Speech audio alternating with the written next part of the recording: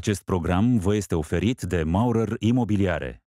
Cafeaua poate să aibă niște efecte pe modul în care crește musculatura, pe modul în care se dezvoltă chimia hormonală, mai ales la fete. Nu poți să iei obiceiurile astea, să le mătucălești, să le arunci la coș și să zici gata, nu mai am obiceiurile astea, totul e în regulă. Nu, trebuie să rescrii. Totuși să nu mințim așa de mult, pentru că până la urmă într-un final nu o să ne mai creadă așa de multă lume. Întotdeauna prin minciună nu face altceva decât să lasă crească iarbă pe drumul adevărului. Da? Ori iarba crescută va fi foarte greu de dat la o parte. Uh-huh. E foarte greu să revii pe un traseu pe care nu ai mai mers de foarte mult timp și pe care au crescut acele bălării. Da? Îți va fi mult mai natural, chiar dacă uh, creierul depune un efort suplimentar ca să mintă, dar își va construi o hartă care nu are legătură cu realitatea și cu adevărul și o va folosi de fiecare dată. Ieșirea din relație noi investim cu o zonă de asta de, de rău. Când, de fapt, ieșirea din relație poate fi de foarte multe ori o zonă de igienă, de protecție, a propriilor emoții și a propriei vieți. Există niște studii care spun că mămicile care consumă mai mult de 100 de mililitri de cafea pe zi în timpul sarcinii își expun copiii la boli de sânge mai târziu în, în copilărie. Copiii de obicei mint ca să um, nu se facă de râs. Mi se pare că e pierdere de timp. Uh, pe de o parte, pe de altă parte, este, poate fi un semn al faptului că relația nu s-a încheiat uh-huh. uh, și atunci stocărești, uh, încerci să găsești motive. În interiorul creierului se petrec niște mecanisme dincolo da, de ceea ce poți observa la suprafață.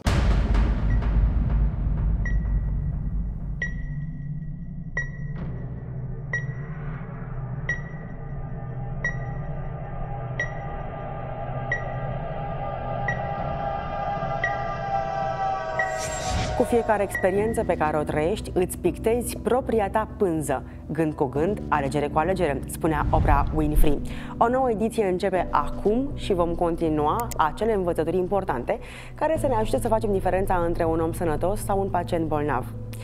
Descoperirile fundamentale în lumea microorganismelor ale lui Pasteur și ale lui Robert Koch contribuie la dezvoltarea microbiologiei ale lui Emil von Behring și Ilia Mecinikov, care pun bazele imunologiei. Pornind de la aceste descoperiri, obstetricianul maghiar Ignaz Semmelweis introduce asepsia, iar Joseph Leister în Anglia folosește pentru prima dată fenolul ca substanță antiseptică. Pe tărâmul fiziologiei sunt de remarcat lucrările francezului Claude Bernard asupra funcționării glandei tiroide, ficatului și asupra sistemului nervos vegetativ, dar și ale lui Ivan Petrovici Pavlov în Rusia cu privire la reflexele condiționate. Dăm așadar startul materialului pregătite pentru voi astăzi.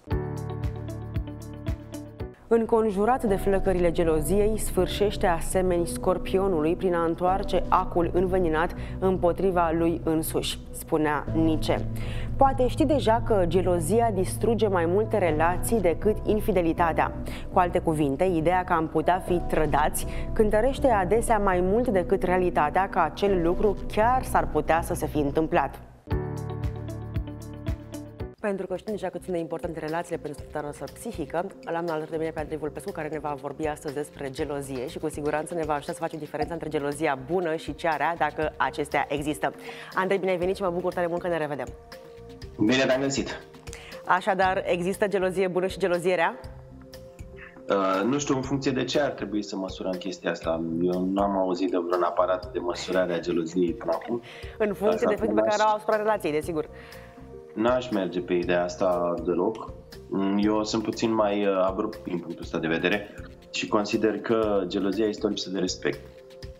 Mhm. Oricum o dai, oricum o iei. Și dacă ești uh, cel care este gelozit și dacă ești cel care îl face pe celălalt să fie gelos, oricum o dai tot o formă de lipsă de respect. Este pentru că atunci când îl faci pe celălalt să fie gelos, e clar că nu respecti, Uh, iar dacă celălalt te face pe tine, nu te respectă. Deci lucrurile sunt destul de simple din punctul ăsta de vedere. Nu cred că ar trebui să uh, discutăm prea mult, chiar dacă din punct de vedere cultural se spune că, vezi, Doamne, puțină gelozie uh, dacă nu e puțină gelozie, nu e iubire.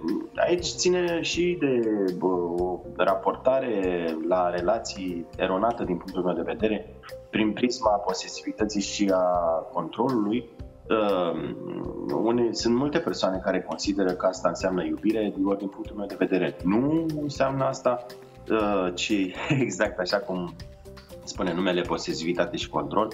Uh, și degeaba stai tu cu, cu biciul pe celălalt, degeaba instalezi GPS-uri pe mașină, degeaba îi instalezi trackere de WhatsApp pe telefon, cum se practică din câte observ, iată, tehnologia ne face să fim spioni, uh, spionii propriilor relații pentru că dacă o persoană își dorește să te înșele, te va înșela. De fapt, aici este, sunt mai multe frici, o, este teama că nu ești suficient de bun uh-huh. uh, pentru relație sau pentru partenerul tău uh, și atunci nu meriți să fii iubit, drept urmare vei fi înșelat și, bineînțeles, teama de abandon care este și ea destul de prezentă prin, uh, prin târg, ca să zic așa, Uh, plus că se mai adaugă uneori și frica de singurătate. Astea trei sunt uh, trei frici active, sunt așa ca un pom de Crăciun bine aprinse.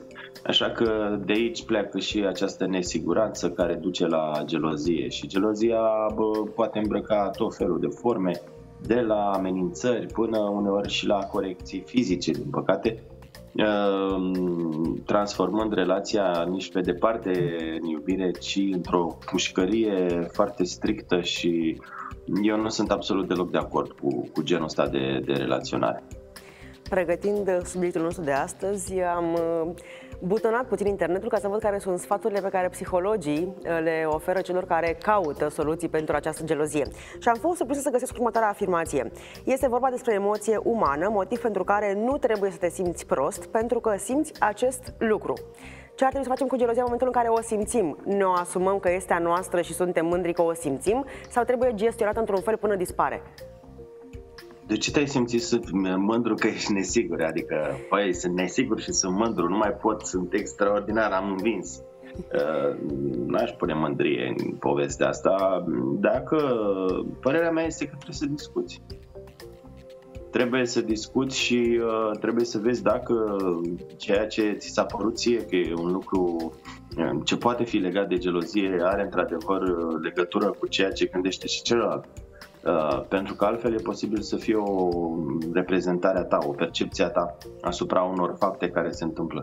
Uh, sigur, dacă există cele trei frici active pe care le-am, uh, le-am menționat anterior, anterior, e posibil să intri într-o zonă de distorsiuni și practic cam orice să te activeze și să te facă să crezi că Uh, celălalt are gânduri necurate sau face tot felul de acțiuni necurate și în momentul în care ai intrat în această spirală, este greu să ieși din ea. Uh, în momentul în care ajungi la GPS pe mașină și track-uri de WhatsApp și mai știu eu ce conturi sparte pe Facebook sau pe Instagram sau să stai să vezi cui a dat inimioară pe Instagram, ceea ce mi se pare o tâmpenie, uh, crede-mă, Uh, nu faci altceva decât să devii spion, dar nu un spion uh, de ăsta activ, ca să zic așa, care este și eficient, ci pur și simplu îți autodinamitezi relația, uh-huh. pentru că neîncrederea ta crește și atunci uh, nu faci altceva decât să aștepți să se întâmple catastrofa. Ori nu, nu, nu avem cum să discutăm aici într-o cheie pozitivă cel puțin din punctul meu de vedere. Ceilalți pot avea alte păreri. Eu nu cred că asta este o emoție umană pe care ar trebui să o îmbrățișăm și cu atât mai puțin cu care să fim mândri. Sigur că dacă stai și urmărești parcursul în viață, vei vedea că la un moment dat, cel puțin în perioada adolescenței sau a tinereții timpurii, ai nutrit tot felul de uh, zone de gelozie, poate ai fost făcut gelos, poate uh, ai văzut tot felul de lucruri pe care credeai tu că sunt motive de gelozie. Uh, evident că nu le-ai discutat, pentru că aici avem o mare problemă cu comunicarea a ceea ce simțim și ceea, ceea ce credem, da? Uh, și uh, ușor, ușor a intrat în această spirală, pentru că este o spirală a negativului și e foarte greu să ieși de acolo. Uh, gândește-te că uh, noi suntem ființe care funcționează pe obiceiuri. În momentul în care ți-ai format un obicei de a spiona propria relație cu scopul de a găsi ceva în neregulă la celălalt, s-a terminat relația. Deci nu, nu va mai fi niciodată liniște. Celălalt poate să facă orice. Tu ești setat pe zona asta, ai intrat pe șine și nu, nu te mai oprește nimic. Uh, așa că da, nu, eu nu mă jucat cu gelozia. Eu consider că gelozia este lipsă de respect și atât. Față de sine, pe de-o parte, da? Și față de celălalt. Pentru că față de sine, de ce este de ce este lipsă de respect? Pentru că nu te cunoști suficient de mult astfel încât să fii relaxat într-o relație, da? Și atunci încep să-l bănuiești pe celălalt și automat îi, îi transmiți mesajul că nu ai încredere în el și practic că nu-l respecti, da? A, așa? Și față de celălalt, exact cum am spus, deci oricum o dai, oricum o iei, tot lipsă de respect e. Acolo unde există respect, părerea mea este că nu are ce să caute gelozia. Ne-ai uh, spus deja, deja că gelozia nu este o demonstrație a iubirii, însă mulți cred că puțină gelozie sau o gelozie dozată, păstrată în niște limite, uh, să spunem, normale, cât să nu-i afecteze prea mult libertatea celuilalt, uh, poate reprezenta sare și piper în relație. Ce părere ai? Cine, repet, cine decide cât e normal și cât e firesc într-o relație sau care sunt limitele? În momentul în care eu mi-arog dreptul de a uh, decide care sunt limitele în relația mea, înseamnă că celălalt e sclavul meu Uh, sau celălalt este subordonatul meu și deja nu mai avem o relație win-to-win, este win-to-lose, ceea ce înseamnă că automat și relația este una uh, în pierdere. Uh, repet, nu există termometre de măsurat gelozia și nu m-a jucat deloc cu lucrurile astea, pentru că sunt persoane extrem de geloase care pot ajunge la gesturi extrem de agresive am întâlnit cazuri, deci nu e deloc de joacă, și cazuri cu spitalizări. Deci să nu cumva să credeți că acea puțină gelozie de sare și piper, grijă mare la dosajul cu sarea asta și piper și, cu, și piperul și grijă mare la cine vă băgați, pe cine vă băgați în, în viață. Pentru că să știți că există foarte mulți uh, oameni violenți care rânjesc așa foarte plăcut și foarte iubitor, uh, însă care printre dinți te amenință că dacă faci nu știu ce te bagă în spital și din păcate unii chiar o fac. Deci, uh, haideți să nu, să nu pedalăm foarte tare în uh, direcția asta de a amesteca iubirea și gelozia și a le pune în același taler, pentru că nu au loc în același taler. Ele nu fac parte din, aceast, din, aceast, din aceeași categorie. Ba, din contră, aș spune că uh, gelozia nu are ce să caute acolo, sub nicio formă. Trebuie odată pentru totdeauna să o scoatem afară din această construcție a iubirii și oamenii să nu mai considere că uh, puțină gelozie dă sare și piper relației, pentru că sarea aia și piperul de multe ori se, trans, se uh, cum să zic, se traduce prin, fie prin abuz verbal, fie prin abuz financiar, fie prin pumni și picioare. Ne îndoim frecvent de caracterul celor din jurul nostru și considerăm de foarte multe ori că nu suntem geloși, suntem de fapt precauți. Cum îmi dau seama că sunt gelos sau geloasă? Ha, da, bună idee. Păi, dar în primul rând, în primul rând îl uh, suspectez pe celălalt că se uită după alte persoane, că discută cu alte persoane, că ți ascunde mesaje, că nu te place de fapt, că te minte. Uh, practic uh, te autodesconsider. Și dacă aceste lucruri au o doză de adevăr, înseamnă că sunt un om realist sau gelos? Uh, păi, stai puțin, în momentul în care tu conștientizezi faptul că aceste lucruri au o doză de adevăr, ai două variante. Unu, deschizi gura și vorbești și întrebi despre asta, da? Sau doi, dacă tu consideri că este adevărat că celălalt te minte, că celălalt vorbește cu alte persoane, că celălalt se uită după alte persoane sau că nu te place, ai, uh, sigur, uh, la îndemână varianta de a ieși din relație. Nu e niciun fel de problemă. Vezi, noi aici, ieșirea din relație, noi investim cu o zona de asta de, de rău.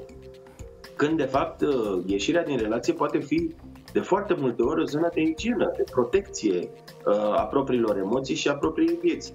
Uh, nu e nimic rău în a pune punct în unei relații care nu funcționează. Mie mi se pare o chestie care elimină pierderea de timp Uh, o chestie absolut matură în care tu ai uh, conștientizat un lucru și spui, băi, chestia asta nu mi se mai potrivește drept urmare, îmi arăt dreptul de a pune punct și de a vedea de viață în continuare, pentru că nu e așa, consider că merit să fiu iubit sau iubită și merit să mă bucur de viață. E foarte simplu. De foarte multe ori, uh, gelozia, spun specialiștii, uh, prinde o formă a unui comportament pasiv-agresiv. Uh, cum ar trebui să înțelegem acest comportament? Cum l-ai descrie? Păi, de fapt, ce e pasiv-agresiv ăsta? El îți sugerează că ar trebui să faci anumite lucruri, dar îți spune că e la latitudinea ta. Este o formă de manipulare asta și am întâlnit-o de multe ori. Am întâlnit de multe ori oameni de ăștia care spun lasă-mă, uite, las eu, de la, las eu de la mine ca să fie bine în relație, dar uh, el înainte te-a amenințat în tot felul de forme. Că dacă vei face un anumit lucru, lui nu-i va conveni și vei suporta consecințe Uh, există, există zona asta, însă trebuie să avem grijă la metafore și trebuie să avem grijă la comportament și la mesajele pe care ni le transmite celălalt. Este adevărat că celălalt lasă ceva de la el sau pur și simplu este o formă de a ne manipula și de a până la urmă a face ceea ce își dorește persoana respectivă. Pentru că am întâlnit de multe ori cazuri în care celălalt spunea ok, las de la mine uh, și persoana respectivă se simțea vinovată, deci automat primea vină pe umeri uh-huh. și nu mai făcea ceea ce își dorea să facă. Și spunea, aia lasă că acum ce s-a întâmplat. Uh, sunt o felul de forme de manipulare în, uh, în zona asta. Uh, o facem cum zici tu, asta este iar o zonă de pasiv-agresiv, agresiv, pentru că, în general, sunt foarte mulți bărbați care merg pe ideea asta de da, dragă, facem cum vrei tu și facem cum vrei tu, nu știu câți ani de zile, până la un moment dat, când ăsta se enervează și sare țandăra brusc, bate cu în masă și o trimite pe Duduie la maică sa cu tot cu bagaje la purtător. Iar ea nu înțelege de unde el, care era un bărbat atât de calm și de liniștit și care făcea tot ceea ce își dorea ea, uh, s-a sucit și brusc a devenit un uh, monstru care a dat-o afară din casă. E, uite de acolo. Da, deci sunt multe variante de a, de a reacționa și de a relaționa, dar uh, trebuie să fim atenți la toate lucrurile astea și um, revenind la gelozie, nu consider că trebuie să ne jucăm foarte mult pe ea. Pentru că nu știe nimeni cum reacționează în momente tensionate sau în momente considerate extreme. Care sunt, Andrei, repercusiunile geloziei pe termen uh, scurt, mediu și lung? Păi depinde, așa cum am spus, uh, e posibil ca la începutul relației lucrurile astea să fie ascunse sub tot felul de mesaje care sunt trimise mai mult sau mai puțin voalat. Uh-huh. Uh, lasă că atunci când o să fii cu mine o să vezi că nu o să mai porți genul ăsta de haine, uh, când o să fii cu mine nu o să te mai vezi cu prietenele tale uh, sau cu prietenii tăi, când uh, o să fii cu mine, nu o să mai ieși la club pentru că nu o să te mai las eu, o să vezi ce mișto stăm noi în balcon și bem un par cu vin uh, și așa mai departe. Astea sunt niște forme de astea ușurele de, de, de, de gelozie. Uh, de fapt, sunt forme de posesivitate și control, repet, uh, după care se pot transforma în timp prin uh, nu ieși așa din casă, nu poți să ieși îmbrăcată ca o puncte, puncte, puncte, Uh, las că știu eu că te duci să te, puncte, puncte, puncte, uh, cum adică să te îmbraci așa când eu nu vin cu tine? Și bă, se poate ajunge, repet, până la lasă că vin eu și te calc în picioare și cazurile, din păcate, sunt destule și se și întâmplă chestia asta. De foarte multe ori sunt uh, persoane, femei care nu cred că li se va întâmpla asta și au fost destule cazuri, cazuri mediatizate din punctul ăsta de vedere și din păcate nu s-au încheiat, uh, nu s-au încheiat foarte plăcut. Uh, din fericire pentru anumite persoane s-au încheiat uh, doar cu spitalizare, din nefericire pentru altele s-au încheiat de tot. Adică s-au încheiat cu crimă, deci, repet, haideți să încercăm să ne debarasăm de această, aceste sentimente și de aceste simțiri umane și să încercăm să le înțelegem și să încercăm să le prevenim, pentru că altfel mi-e teamă că ne jucăm cu focul și nu e bine. Când uh, deschidem televizorul și primim uh, vești cum că simpatica, inegalabilă și minunata Jennifer Lopez este la nu știu câte la uh, divorț din cauza infidelităților, poate că o femeie modestă, care se consideră modestă, zice, băi, ok, sunt pe, pe nisipuri total mișcătoare. Ce fac când mi se aprind acei spirocheți pe creier în condițiile în care el este plecat poate cu treabă importantă pentru că jobul l-a trimis din oraș? Cum îmi liniștesc acești spirocheți care apar? În primul rând ar trebui să ne gândim că noi nu cunoaștem nimic despre modul de relaționare al lui Jennifer Lopez, de exemplu. Sau orice altă actriță sau orice altă cântăreață de asta de succes. Habar nu avem cum relaționează ea, nu știm ce tipare are, Uh, nu știm cum își alege partenerii, de ce își alege partenerii, nu știm exact ce s-a întâmplat acolo. Uh, sigur, bărbatul ăsta a fost de mai multe ori uh, bănuit de infidelitate. Eu încă lucram în presă când de fapt, stai că ea nu era cu ăsta, dar mai era cu alții care la fel făceau.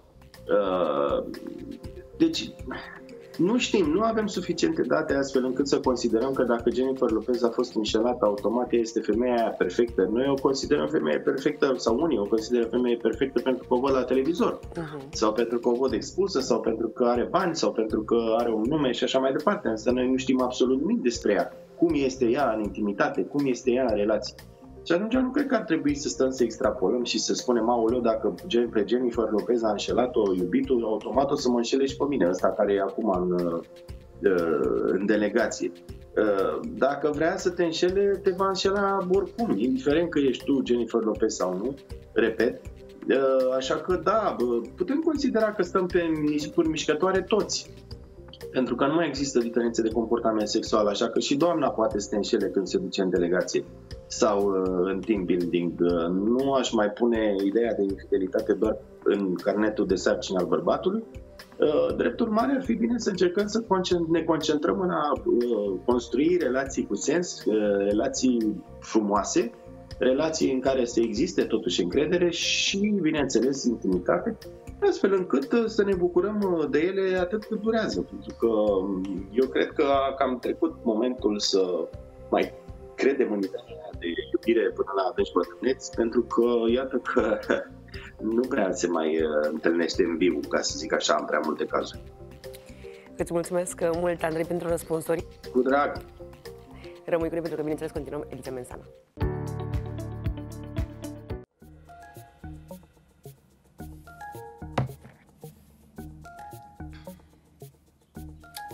Alo? Auzi, mamă, să nu uiți să scoți puiul de la congelator, dacă te mai rugat de trei ori. Da, mami, de ce l-am scos? Bine, pa!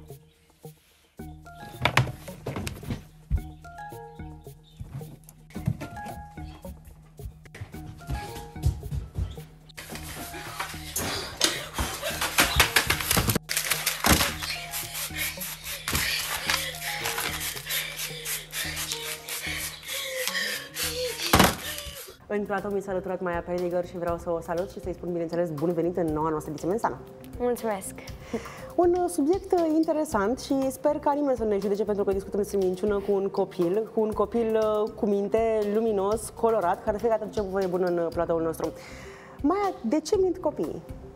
Cred că mint, copiii de obicei mint ca să um, nu se facă de râs, probabil, pentru că, de exemplu, eu când eram mai mică, dacă întrebam vreun prieten dacă s-a uitat la un film, știam că nu s-a uitat și el spunea că s-a uitat special ca să... Nu, probabil ca să nu, nu știu, să nu se facă de râs, dar nu înțeleg nu cu ce. Făcea. Da, nu se făcea oricum. Vreau să te întreb ce părere despre minciunile albe și ce înțelegi tu prin această minciună albă. Cred că minciunile albe sunt și rele și bune, pentru că bune pentru că dacă un prieten, um, dacă unui prieten al tău îi place foarte mult să deseneze și îți arată un desen care ție nu-ți place, dar tu minți că îți place, atunci nu cred că este o greșeală, pentru că îl faci să se simtă bine.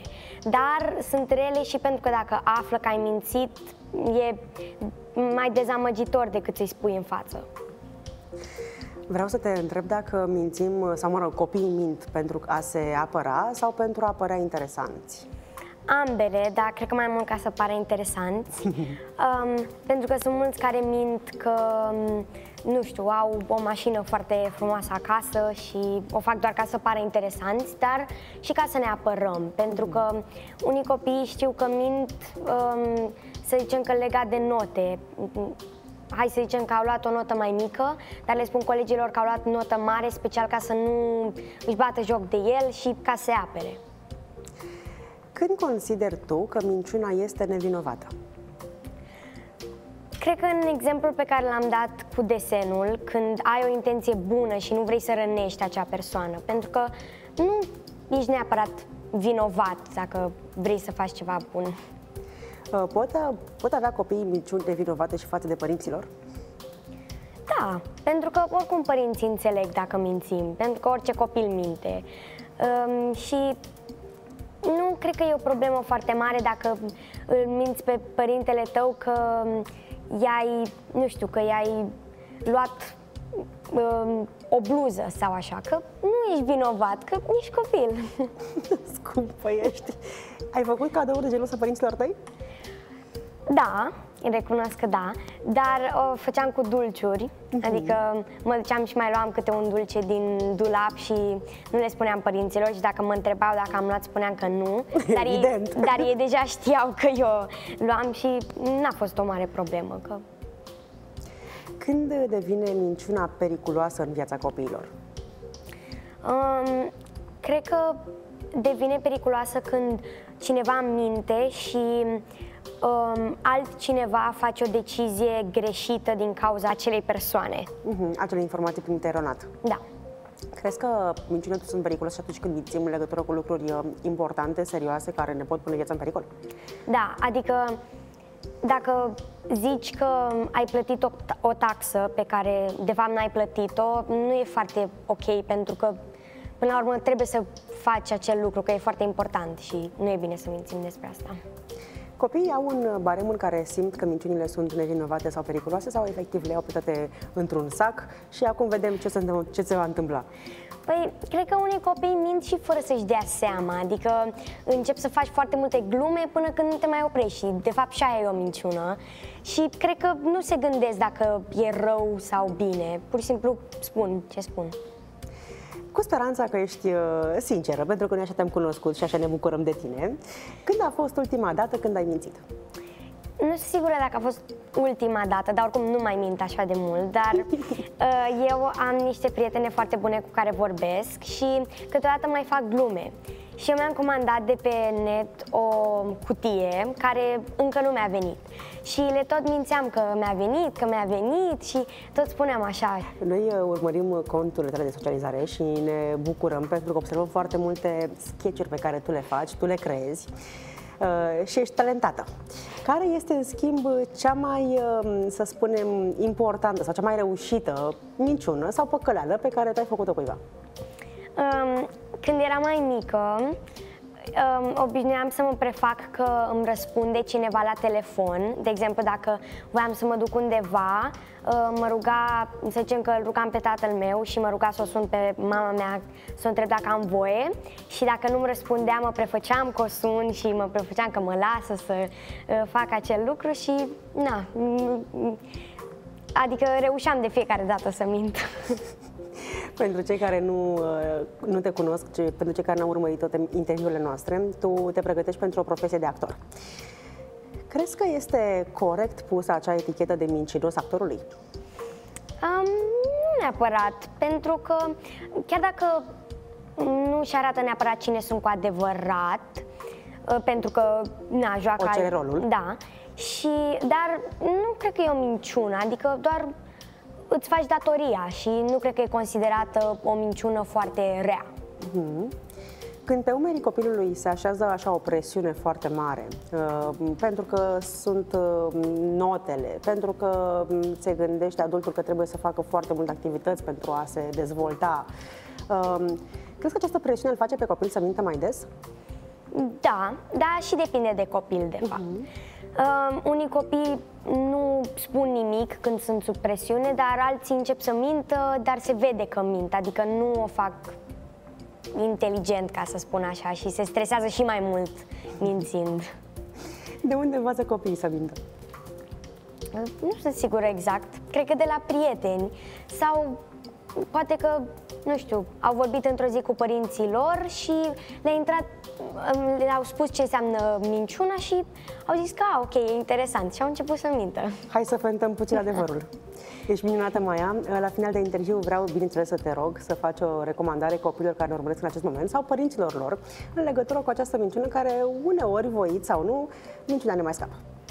Păi ă, să încercăm să spunem adevărul cât mai mult, dar totuși să îl spunem într-un mod frumos. De exemplu, să nu îi spunem unui prieten în față că nu s-a îmbrăcat bine, așa, într-un mod foarte Grosan. exagerat.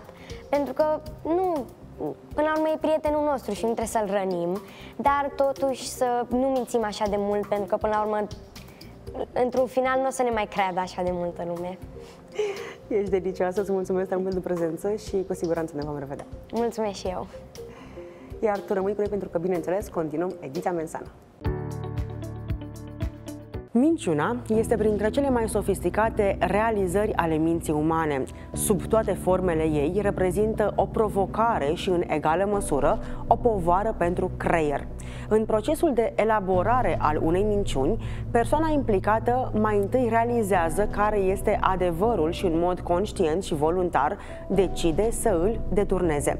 Efectele pe termen lung sunt multiple și deși creativitatea celui care minte ar putea reprezenta un subiect interesant, de fapt se produc daune serioase la nivel cerebral prin afectarea resurselor emoționale și cognitive, care reprezintă baza sistemului de evaluare al implicațiilor etice pe care acțiunea de a minți le produce. După frumoasa introducere făcută de Maia Prediger în acest subiect important al minciunii, l-am alături de mine pe dr. Ovidiu Tudor, medic neurolog, care ne va vorbi despre această minciună și ne ajută pe noi medicina să o depistăm mai ușor. Ce face Ovidiu?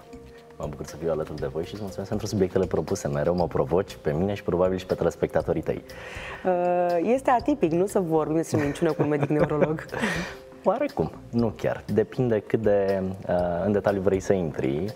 Putem vorbi la suprafață despre minciună sau putem vorbi despre mecanismele minciunii și ceea ce se întâmplă în creier. Iar dacă ne ducem în interiorul creierului, cred că este domeniul în care mă simt ca peștele în apă.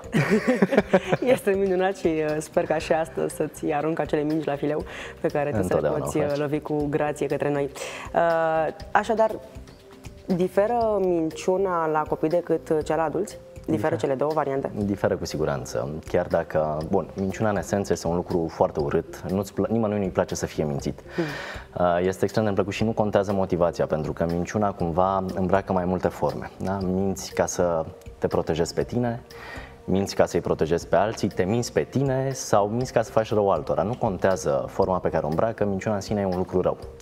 E un lucru care te modifică pe tine ca și comportament, care te modifică pe tine ca și mod de funcționare și care în definitiv îți modifică foarte mult creierul. De ce diferă foarte mult uh, varianta de minciună dintre copil și adult? Este pentru că adultul este asumat și are toate elementele de înțelegere, pe când un copil nu le are. Uh, se întâmplă următorul aspect și un uh, element. Uh, bine, ai văzut, copiii cumva întotdeauna când fac ceva și ei la rost cumva îi întrebi, vor spune n-am făcut eu, n-am făcut eu, e prima chestie așa care cumva parcă se nasc cu chestia asta, înainte să spună mama și tata, parcă vor să spună n-am făcut eu, n-am fost eu de vină. Ei bine, uh, științific vorbind și medical vorbind, până la vârsta de 6-7 ani, uh, e o linie foarte fină de demarcație între adevăr între realitate și fantezie în mintea copilului. Uite, poate te-ai gândit vreodată cum ar fi să schimb lumea sau să fac ceva doar gândindu-mă la chestia asta, nu? Ne gândim cu toții, poate. Ei bine, copilul chiar crede că poate să facă acest lucru doar gândindu-se. Mm. Este o perioadă în care el crede în supereroi, crede în unicorni, crede în tot felul de lucruri minunate, în zâne bune și așa mai departe.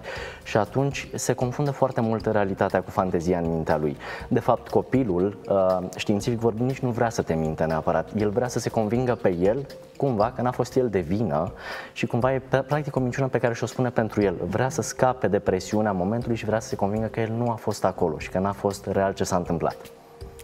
Am înțeles uh, și uh, ne-ai tot uh, dat așa puțin pe la nas cu acest miros simpatic al creierului și vreau să te întreb ce se întâmplă efectiv în creier atunci când mințim. Se modifică în rău, extrem de mult în rău. Creierul nostru are capacitatea asta, neuroplasticitate se numește și el se modelează da? și se formează în funcție de elementele cu care îl hrănim noi. Pe baza remeneurilor funcționale care ne arată dincolo de structura organică, de felul în care arată creierul, putem vizualiza exact ce elemente din creier încep să joace mai puternic în momentul în care mințim sau în momentul în care spunem adevărul. Un aspect important pe care vreau să-l menționez încă de la început este că e mult mai greu să minți decât să spui adevărul. De ce? Pentru că întotdeauna când minți, mai întâi conștientizezi adevărul mm. și te abați de la el. Da? Deci faci ceva în plus. Nu e vorba de creativitate, pentru că sunt teorii care spun că prin minciună devii creativ. Nici vorbă. Prin minciună, de fapt, denaturezi realitatea, îți proiectezi o altă lume, iar asta te va afecta în modul tău de funcționare în relația cu tine și în relația cu ceilalți. Sunt detalii extrem de importante. Uh, bun, prima dată când minți. E un aspect incredibil de interesant.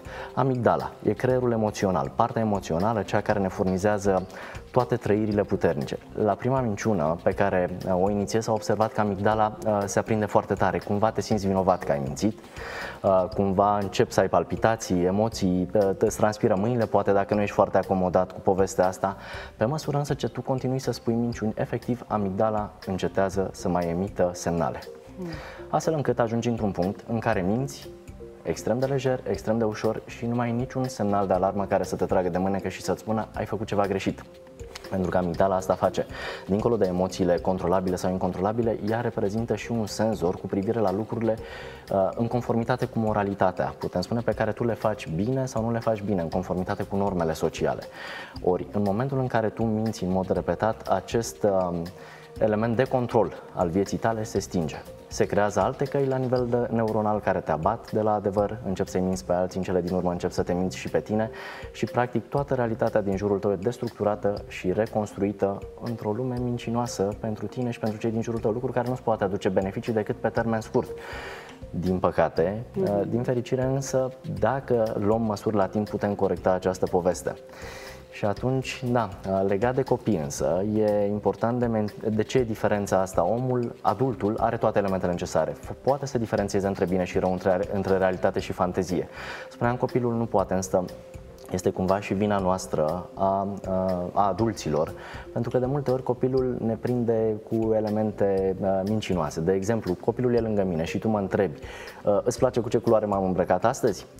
Uh, eu nu o să spun că poate nu-mi place culoarea ta, dar îți pot spune, e culoarea ta, e culoarea ta preferată. Asta e o minciună albă, cumva, uh-huh. da, o putem numi. Nu spun că nu-mi place, uh, nu spun toate elementele, spun că e culoarea ta și evit răspunsul. Asta e tot o minciună pe care e interesant. Copilul de la vârsta de 2 ani începe să o sesizeze și să o perceapă. Și cumva îi se impregnează în minte că poate face și asta. Mai e un element interesant legat de uh, tot ce înseamnă media, de desene animate, filmulețe și așa mai departe. Dacă ai observat orice minciună, orice chestie ciudățică e privită cu umor. Uh-huh. Iar copilului se impregnează în minte că făcând povestea asta e haios, nu e nimic grav, nu e nimic uh, nepotrivit. Și atunci, într-adevăr, începe să minte, dar tot pe uh, fundamentul acesta. Distinția dintre realitate și fantezie uh, este la limită în mintea lui. Pedepsim uh, copilul pentru că ne-a mințit? Nu trebuie pedepsit, uh, trebuie vorbit. Trebuie întotdeauna, trebuie avute discuții serioase la nivelul lui de înțelegere. Trebuie să-l facem să înțeleagă ce înseamnă onestitatea în primul rând, trebuie să îi prezentăm să spunem că adevărul e doar unul până la urmă și dacă îl prezinți în mod corect și îi prezinți cumva și repercusiunile care pot să apară uh, din nealegerea adevărului, copilul în cele din urmă va înțelege, dar nu e totul despre a vorbi, e totul până la urmă despre a fi tu un exemplu. Dacă tu nu poți fi un exemplu și dacă dai semnale subliminale despre tine, în modul tău de abordare a situațiilor, indiferent cât ai vorbi cu el, copil până la urmă, până la o anumită vârstă, ești Dumnezeu în familie, tu ca tată sau ca mamă pentru copil iar el se va raporta foarte mult la elementele pe care le observă la tine, va, va încerca să te copieze. E doar uh-huh. firesc să se întâmple asta. În momentul în care va copia comportamentul tău uh, în mod incontrolabil și involuntar, Uh, elementele negative se vor răsfrânge asupra lui, pentru că și el are acel senzor, cum spuneam, pe care îl sesizează și îți dă seama, stai puțin că tata îmi zice ceva, dar de fapt reacționează într-un mod diferit. Înseamnă că e bine să facă asta. Plus că mai există și încurajări din partea părinților uneori că poți minți dacă situația o impune ca să te protejezi pe tine, să-i protejezi pe alții, știm cu toții. Că o mică minciună nu strică. Însă, în psihologie, uh, un element care mi se pare foarte interesant spune în felul următor, ferește-te de oamenii care spun minciuni mici. Da, pentru că e doar primul pas spre minciuni mai mari, cum spuneam. Există acest fenomen de desensibilizare al creierului. De fapt, minți azi, minți mâine, minciuni scurte, e doar un pas până vei începe să uh, abordezi o altă problematică și minciunile tale să devină mai grave. Uh, te ascult cu interes și mi-aduc aminte de subiectul în care am vorbit despre râs și cât este de important râsul și, mă rog, întregul proces al uh, construirii glumei, uh, rostirea ei, înțelegerea ei și apoi reacția prin râs. Înțelegem că la minciune nu se întâmplă același lucru. Dacă la râs creierul funcționează într-o manieră fabuloasă și începe să acceseze diverse zone ale lui, astfel încât el devine mai bogat după această glumă la care am reacționat, cu minciuna nu se întâmplă la fel, deși și la minciuna apar anumite mecanisme multiple. Apar anumite mecanisme, dar e același fenomen. Cumva îți obții o recompensă, îți obții o stare de bine și unor o stare de liniște prin faptul că ai mințit. Dar pe de altă parte vine stresul uh, minciunii uh-huh. uh, și faptul că întotdeauna creierul se va forța să găsească niște căi nenaturale în interiorul lui. Nu orice rută pe care o formează e utilă, e bună, e constructivă. Uh, întotdeauna prin minciună uh, nu face altceva decât să lasă crească iarbă pe drumul adevărului. Da? Ori iarba crescută va fi foarte greu de dat la o parte. Uh-huh. E foarte greu să revii pe un traseu pe care nu ai mai mers de foarte mult timp și pe care au crescut acele bălării. Da? Îți va fi mult mai natural, chiar dacă uh, creierul depune un efort suplimentar ca să mintă, dar își va construi o hartă care nu are legătură cu realitatea și cu adevărul și o va folosi de fiecare dată. Uh, este un mod destructiv, un mod destructiv al creierului, plus că în momentul în care uh, mințim consecvent da, și în mod asta devine natural în modul nostru de funcționare, uh, apar mici modificări de structură și de volum la nivelul cortexului prefrontal, cel care se ocupă uh, de comportament, de rațiune, care din păcate are de suferit. Uh, iar modul în care tu vei raționa de-a lungul timpului și modul în care îți vei filtra informația și o vei prezenta, de asemenea va avea de suferit, iar asta te va afecta nu doar în planul acesta al minciunii, ci în modul în care viața ta se dezvoltă și funcționează. Din nefericire te va trage destul de mult în jos. Creierul este foarte simpatic și uh, chiar dacă ne ajută la construirea acestei minciuni, cu toate acestea nu ne lasă să fim flower power atunci când mințim, uh, ci creează și anumite mișcări. Că este vorba despre mișcarea ochilor, că este vorba de frecatul mâinilor, că este vorba de o mișcare a corpului, uh, el cumva încearcă să semnalizeze pe cel care ne ascultă că nu suntem chiar sinceri. Ne ajută detectorul de minciuni să identificăm minciuna sau ar trebui mai degrabă să fim atenți la aceste elemente pe care corpul, capul, fața, ochii uh, le fac. Dacă devii un minciunos foarte bun și foarte experimentat, poți uh, foarte ușor să păcălești detectorul de minciuni sau mm-hmm. poți foarte bine, dacă ești un om care a studiat foarte mult limbajul trupului, ți le poți masca. Mm-hmm. Este extrem le de... Le poți controla. Le poți controla foarte simplu. E vorba de un proces de perfecționare a minciunii, așa cum te poți perfecționa în orice domeniu până la urmă. Detectorul de minciuni funcționează foarte mult pe elementul emoțional, îți detectează emoțiile, dar sunt, e un lucru pe care tu îl poți controla din nou. Și sunt oameni care au mințit și detectorul de minciuni n-a detectat povestea asta. În schimb, în interiorul creierului se petrec niște mecanisme dincolo da, de ceea ce poți observa la suprafață. De asta este important acest RMN funcțional. Sigur, nu a fost uh, uh, implementat studie de prin 2007 au început primele cercetări și s-a observat povestea asta. Momentan există niște uh, bariere legislative și nu e implementat, dar una peste alta, dacă pătrunzi în interiorul creierului, pe mhm. baza acestui remene funcțional, indiferent dacă amigdala aia începe, cum spuneam, senzorul care sezează că ceva e în regulă și în care încearcă să te nume, indiferent cât de ușor pâlpâie, ca și semnal, tot dă niște semne pe care poate tu ca organism nu le mai resimți, nu mai trăiești emoția respectivă și poți minți fără să se simtă în exterior. Dar remeneul în interiorul creierului poate vedea, pentru că din fericire Dumnezeu ne-a lăsat în acest fel să avem elemente care ne controlează și care ne pot îndruma sau ne pot readuce pe calea uh, bună, pe calea care să ne facă de fapt calea bună, însemnând de fapt elementele care te pot ajuta să construiești un caracter și un om uh, valabil în principal pentru tine și pentru societate. Corect. Da? Poți detecta aceste elemente extrem de, de ușor, ușor oarecum dacă ai la dispoziție un uh, personal calificat care poate să facă aceste remeneuri funcționale. Uh-huh. Una pe deci semnale există în interiorul creierului, dar pe restul le poți estompa destul de ușor. Emoții, uh, manifestări, uh, tresăriri și așa mai departe. Înțelegem că minciuna are efecte clare, vizibile asupra creierului în momentul în care ea este perpetuată. Uh, în momentul în care alegem adevărul, se vor șterge aceste semne lăsate de minciună? Dacă alegi adevărul, e un proces anevoios. Uh-huh. Pentru că întotdeauna ești tentat să te întorci la ceea ce ai experimentat și uh, este comod să parcurgi un anumit traseu pe care l-ai repetat la nesfârșit. Nu e ușor să ieși din zona ta de confort, pentru că în momentul în care ai mințit uh, mult timp, da, zona ta de confort devine minciuna și ajungi să minți despre absolut orice chiar total neimportant, pur și simplu minți pentru că asta e viața ta, așa trăiești într-o minciună. Uh, nu, e deloc nevoie, nu e deloc ușor să ieși din perimetrul ăsta, din zona de confort, însă partea bună este că exersând și impunându-ți cumva, pentru că aici intervine și voința, acea forță care te împinge de la spate, cumva să faci lucrurile așa cum trebuie și te motivează să le duci la îndeplinire. Printr-un proces de voință, cu ajutorul poate personalului calificat, al unui psiholog, uh, poți dezvolta și poți uh, regăsi traseul potrivit pentru creierul tău. Da? Poți da acea iarbă despre care vorbeam, acele bălării la o parte, iar adevărul să devină o cale netedă și dreaptă, care în cele din urmă îți va aduce satisfacțiile, pentru că uh, e mult mai plăcut să vezi uh, una peste alta, uh, chiar dacă uneori e dificil, cred că e mai plăcut sentimentul pe care îl primești din partea unor atunci când le spui adevărul, chiar dacă unor doare sau e nepotrivit sau e neplăcut sau pică într-un moment uh, inoportun. Nu, în momentul în care se că adevărul pe termen lung îți aduce beneficii substanțiale, uh, vei putea să reînnozi acest traseu. Și cred că este important și pentru creier să uh, vizualizeze acest traseu pe termen lung și să-și dea seama că la capăt este o recompensă cu atât mai mare pentru că noi știm că al nostru creier funcționează foarte bine pe recompense. Întotdeauna funcționează pe recompensă, dar din nou depinde de noi ce alegem, să-i dăm recompense puține, imediate, imediate sau să alegem într-adevăr premiul cel mare. Despre asta e vorba. Și pentru că iubesc termenul prevenție și pentru că prin emisiunile noastre ne dorim ca cei care ne urmăresc să fie atât de atrași de, atât atrași de, de medici să se prezinte la ei atunci când au nevoie, cât și să pună accent pe prevenție pentru a nu ajunge atât de des sau atât de repede la medic, uh, cum putem să le ținem departe de minciună? Este părintele factorul, motorul care declanșează sau sunt și alți factori la care ar trebui să fim atenți?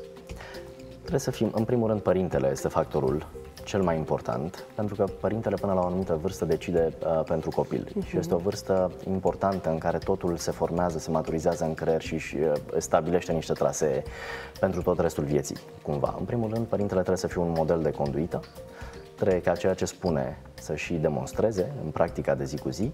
Uh, pe de altă parte, trebuie să aibă timp să-și ia timp să vorbească deschis cu uh, micuții lui, uh, astfel încât să uh, le implementeze foarte corect noțiunile de minciună, de adevăr, uh, care sunt consecințele fiecărui element în parte și cum pot fi abordate situațiile astfel încât lucrurile să fie liniștite și bune în viață. Dar de asemenea contează foarte mult și vine tot din partea părinților selecția pe care o fac în programele și uh, desenele animate și filmulețele pe care copiilor le urmăresc pentru că la ora actuală internetul e plin de tot felul de uh, produse media care denaturează și deformează foarte mult adevărul. Iar mintea copilului este extrem de sensibilă la acest lucru, uh, nu reușește să filtreze, Valoarea de bun ce îi se prezintă și o perioadă critică. Chiar până la 3 ani, între 2 și 3 ani, o perioadă critică de formare a copilului, dar, cum spuneam, ne extindem până la 6-7 ani din punct de vedere al percepției uh, realității. E bine să-l ținem pe copil ancorat în realitate cu elemente sănătoase, cu o hrană sănătoasă pentru creier. Așa cum organismul nostru are nevoie de alimentație sănătoasă ca să funcționeze, să nu dezvolte patologii, cam asta se întâmplă și cu creierul. Dincolo de alimentele pe care le ingerăm, trebuie să folosim o informație corectă și sănătoasă pentru a hrăni creierul într-un mod sănătos și îi permite acestea să dezvolte gânduri, conduite, comportamente sănătoase. Vreau să te întreb, Ovidiu, și dacă minciuna apare pe un teren unde curajul, asumarea lipsesc pot să apară, întotdeauna pot să apară și ne încadrăm în acea categorie. Minți ca în idee, minți ca să te protejezi pe tine, ca să-i protejezi pe alții sau te minți pe tine ca să-ți denaturezi adevărul, cu siguranță. Sunt elemente care merg mână în mână.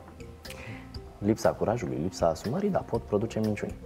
Îți mulțumesc uh, mult uh, pentru prezență, pentru răspunsuri, pentru că ești uh, mereu dornic să împărtășești prin aceste informații prețioase, pentru că alegi să te informezi și pentru că vrei să vii către noi cu informații de ultimă oră, informații actualizate, iar noi te prețuim și te alegem în emisiunea noastră pentru că ne place foarte mult de tine și ne place să ne știm informații mulțumită ție. Eu vă mulțumesc pentru că m-a ajutat să-mi dezvolt creierul prin subiectele pe care mi le propuneți. Ne revedem! Cu siguranță! Iar tu rămâi cu noi pentru că, bineînțeles, continuăm ediția Mensana. Care crezi că sunt avantajele și dezavantajele consumului de cafea? Te încurajez să ne scrii în următoare răspunsul tău. Pentru că veștile bune preferăm să le dăm la urmă, voi începe să-ți prezint dezavantajele cafelei. Această băutură consumă vitamina B, magneziul și calciul din organism. În plus, consumul de cafea nu este recomandat în cazul în care avem probleme de stomac, deoarece această băutură determină secretarea unei cantități mari de acid gastric. Un consum foarte des de cafea poate crea de asemenea o stare de nervozitate și de iritare, respectiv poate duce la probleme de somn.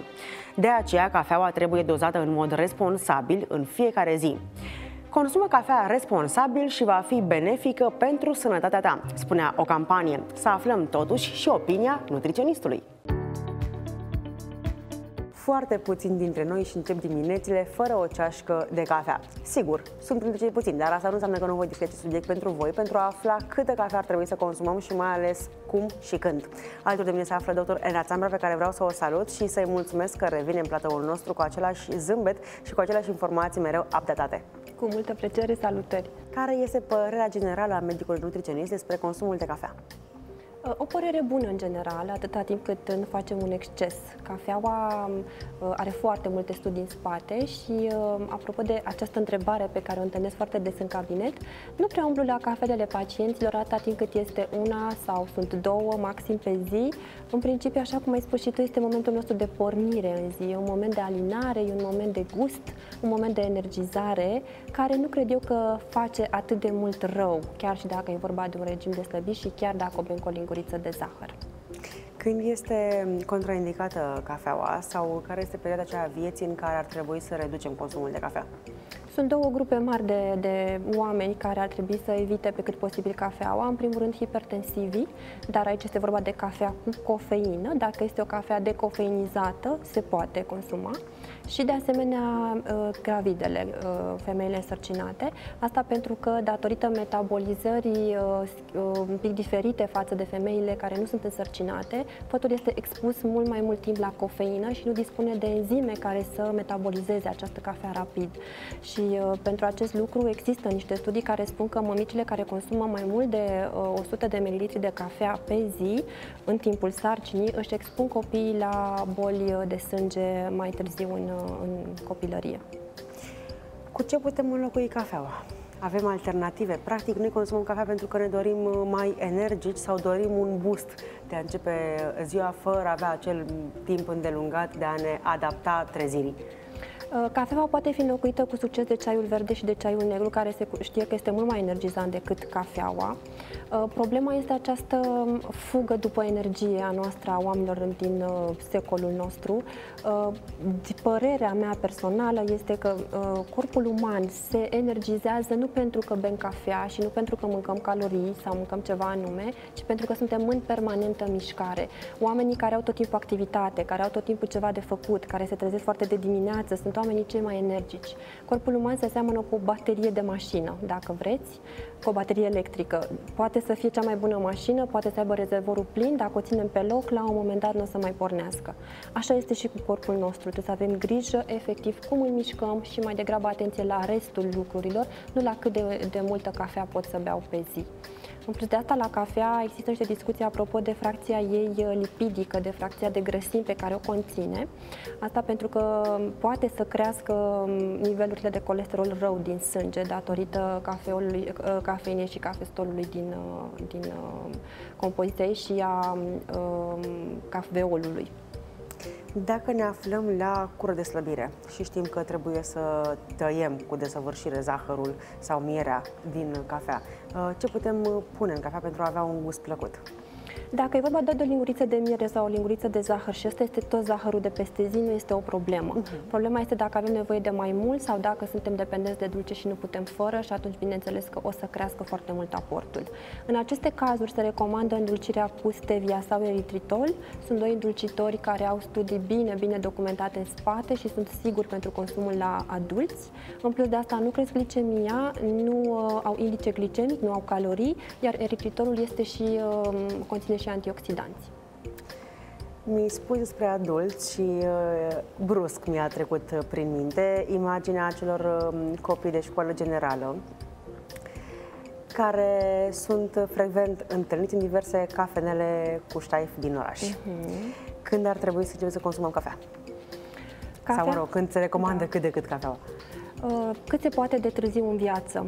Um, nu există o vârstă recomandată, la, vorbim de adulți, la care să putem să introducem cafeaua, dar cu siguranță dacă e să vorbim de copii și adolescenți după 20 de ani, după vârsta de 20 de ani, asta pentru că procesul de creștere și de acumulare, de osificare și de acumulare de nutrienți se termină la această vârstă, se încheie. Și cafeaua poate să aibă niște efecte pe modul în care crește musculatura, pe modul în care se dezvoltă chimia hormonală, mai ales la fete, și pe uh, osatură, pe cât de densă o să fie osificarea sau oasele copilului până la vârsta de 20 de ani.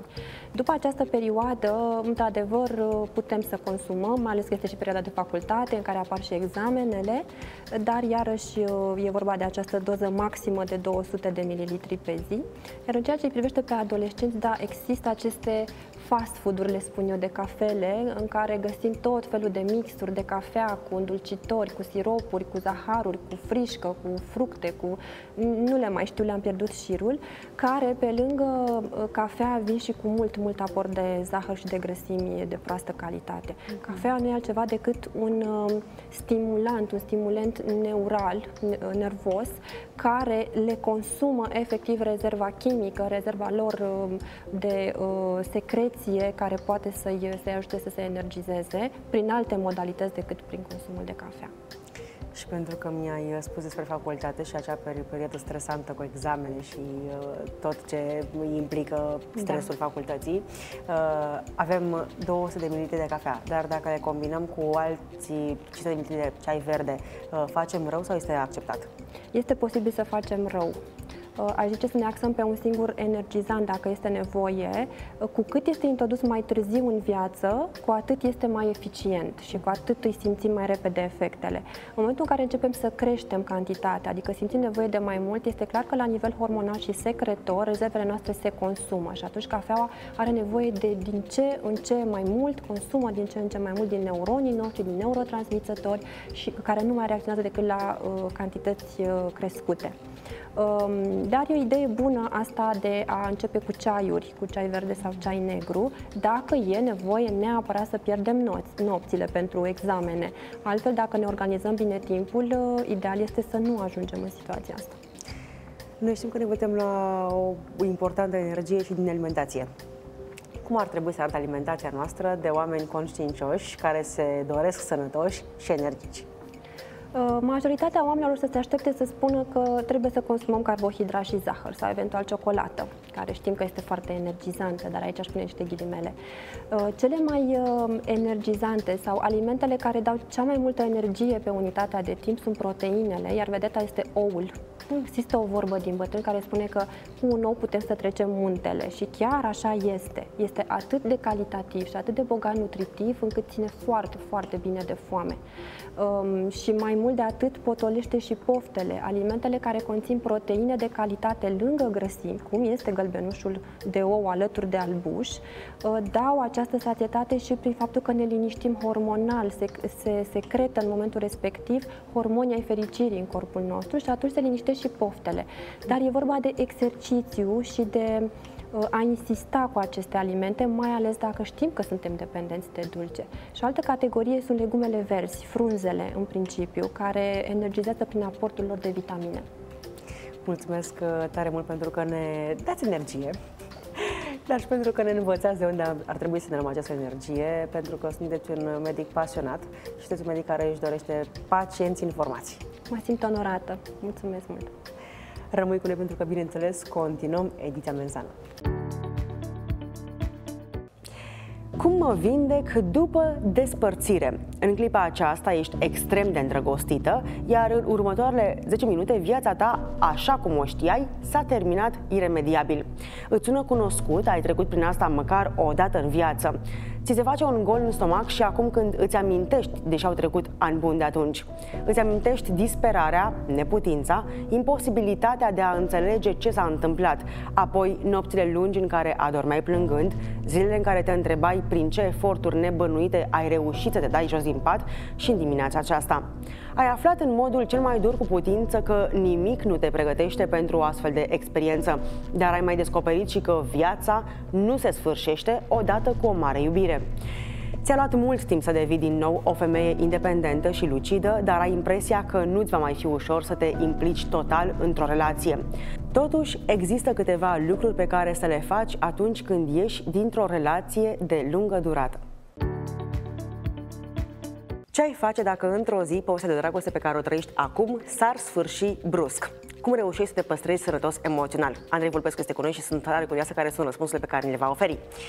Așadar, Andrei, uh, cum mă refac după o despărțire sau după un divorț? Cred că sunt la fel de dureroase, nu? Depinde de persoane și depinde de perioada de acalmie, ca să zic așa.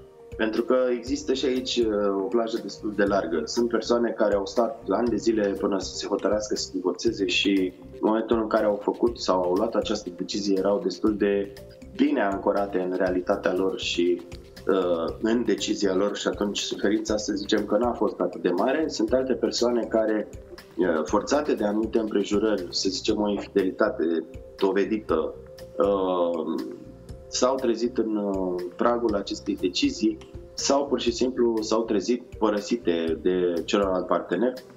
Sunt tot felul de variante aici de luat în calcul. Eu nu cred că toți oamenii, oamenii suferă la fel, așa cum nu cred că toată lumea ar trebui să sufere. Adică uh, suferința nu trebuie să fie, trebuie să fie opțională, nu trebuie să fie obligatorie în situații de genul ăsta. Sigur că în momentul în care ți se întâmplă să fii părăsit sau să fii înșelat sau să fii, știu eu, nu știu, lăsat cu ochii în soare, e firesc să manifesti anumite sentimente de furie, de revoltă, de, uh, nu știu, tristețe, de nemulțumire și așa mai departe. Însă ideea este să nu stai foarte mult în ele.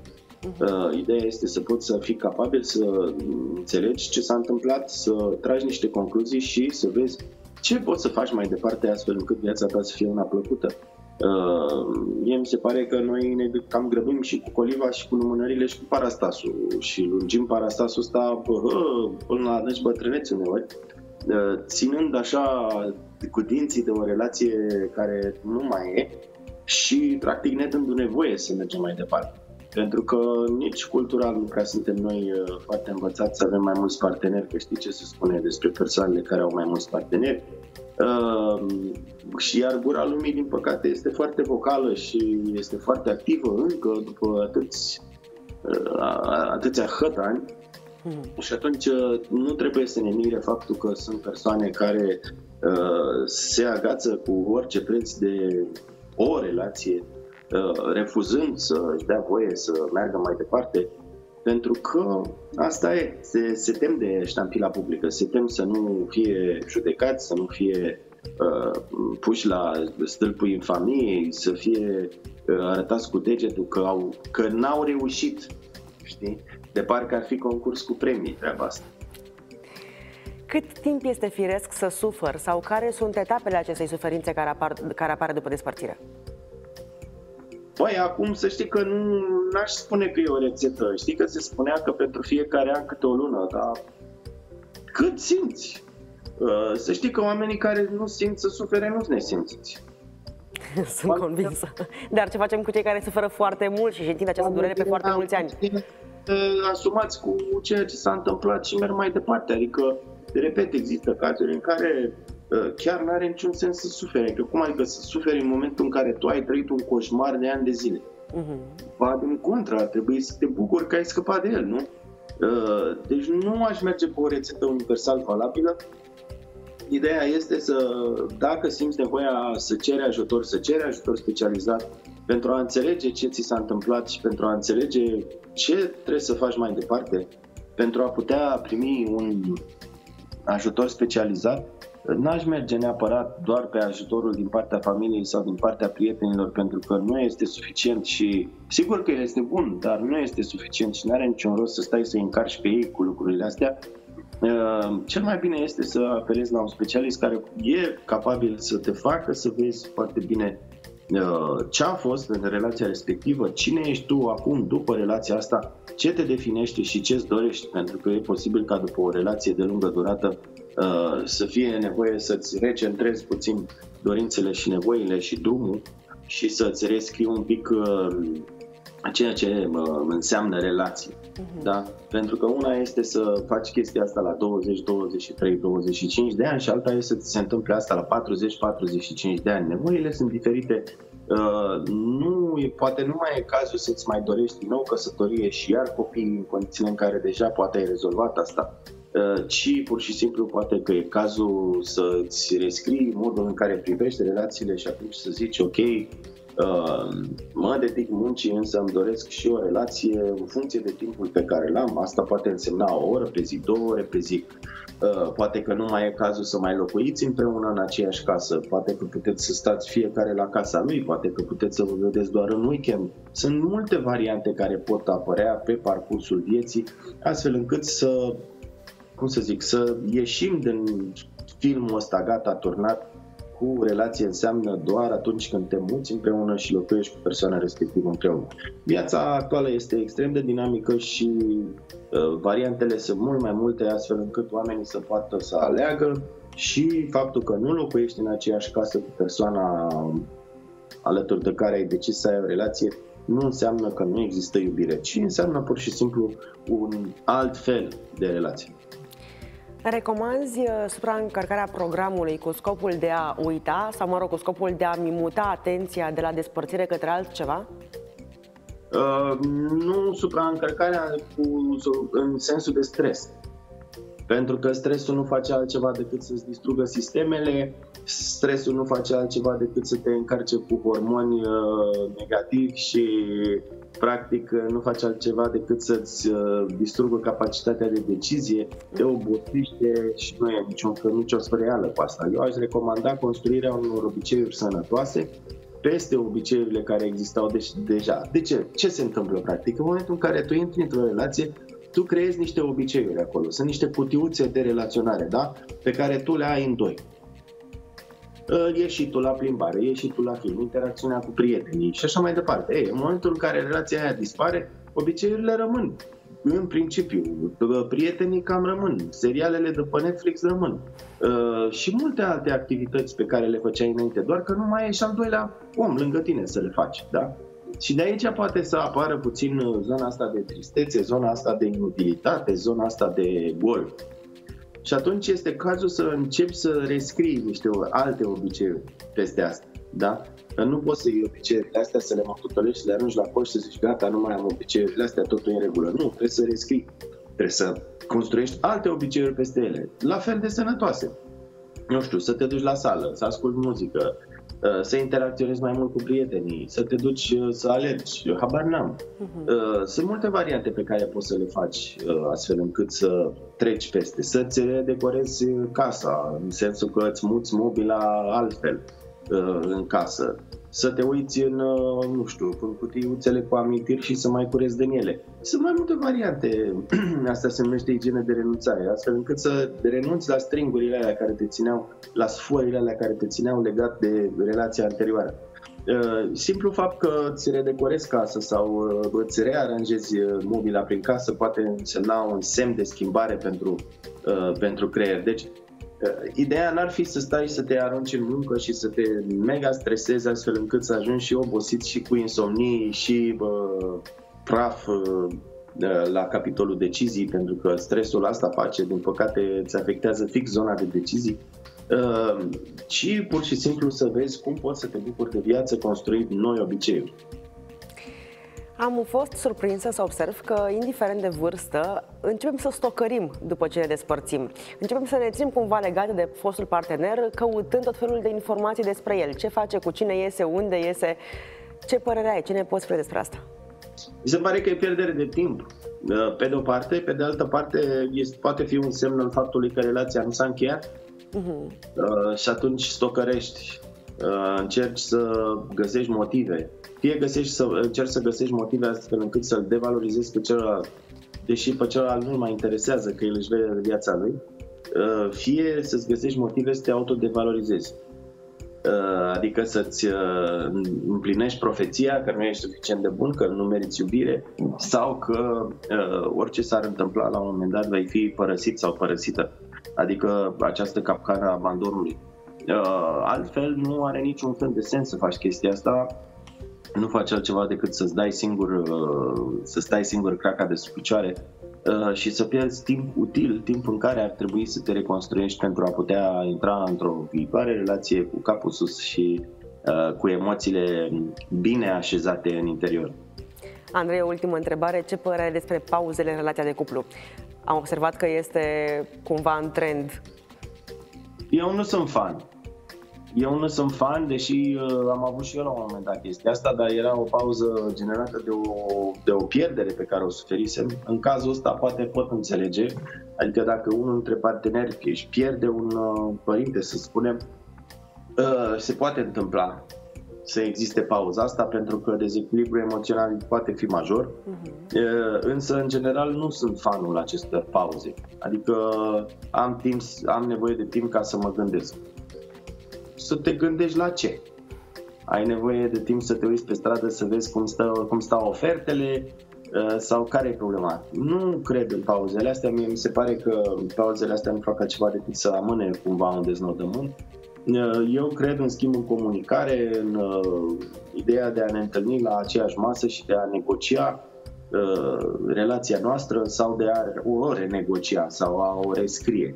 Pentru că nu e așa, în momentul în care intri într-o relație, semnezi un contract, însă nu spune nimeni că n-ai voie să aduci și anexe la contractul respectiv pe, pe parcursul trecerii anilor. Deci, în loc de pauze, eu aș merge pe ideea sincerității și pe ideea de a ne aduna și de a renegocia în cazul în care există ceva de renegociat. Dacă nu mai e nimic de negociat, atunci ce rost are să mai cerem pauză pentru a spune pa mai târziu. Îți mulțumesc tare mult, uh, Andrei, pentru că ești așa de sincer cu noi și tranșant, dar și prietenos în același timp și cu siguranță ne vom revedea. Cu drag! Iar tu rămâi cu noi pentru că, bineînțeles, continuăm ediția Mensana. Cel mai bun mod de a te pregăti în viață este să începi să trăiești, spunea Albert Hubert. Sunt Consola Bălașa și mă bucur să-ți spun că duminica viitoare la aceeași oră 12 ne vom reîntâlni pentru a învăța reguli importante de a ne păstra sănătoși. Îți doresc o zi pe gustul inimii tale, dar și o săptămână trăită responsabil. La revedere!